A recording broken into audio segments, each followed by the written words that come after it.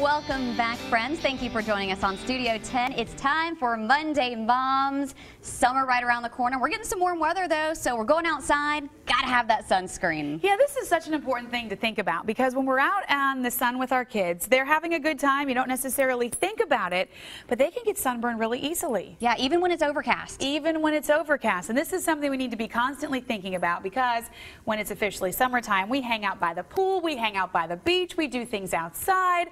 Lots of fun in the sun, but before we head out there, we do need to take a moment and protect ourselves and our children from sunburns. Experts say that too much sun can actually be a dangerous thing. A Skin Cancer Foundation report shows the number of skin cancer cases is going up year to year.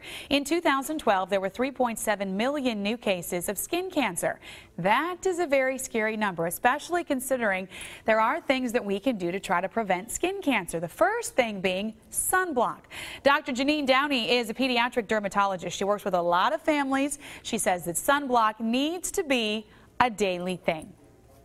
So an SPF 30, Sarah, every day, rain or shine, January through December, and that is regardless of the child's ethnicity. That is very, very important. And then parents need to reapply it to themselves every two hours and to their children every two hours. But if your kids are in and out of the water, it needs to be reapplied as frequently as every 30 minutes because there's no such thing as a waterproof or a water-resistant sunblock.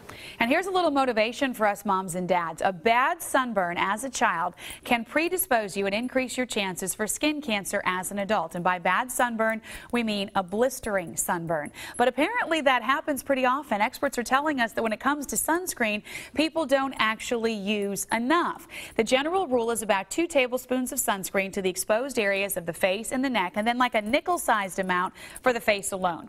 You also may want to check out the UV clothing that's out there. Dr. Downey says there are some really good options for sun protection in the form of UV blocking hats and shirts. Dr. Downey says we should also be good role models when it comes to protecting our skin because if our children see us putting on the sunblock every day, they're more likely to do the same thing. If you'd like some more information, you can check out our website. Just go to fox10tv.com and look for the Monday Moms page. Interestingly, we were just at the beach this week and we did the sunblock stuff and then we decided to try the UV shirts. Uh -huh. They worked really well. Really? Yeah, they worked really well. Huh. So that's something that actually makes it easier too because you don't have to sunblock every 30 minutes. On, you know, you can protect with a shirt, which works really well for the kids. That is good to know. So you've tried it, you've been there. Yes, we tried it this week and we were at the beach and it worked really well. And something else is interesting. Have you read the Consumer Reports? They just came out with the top sunscreens and sun sprays to block the harmful UVB and UVA rays. And three out of four top brands may not be what you think because you may think that right. the more expensive the brand, the better it is, but that's actually not the case. They found that the best three out of four brands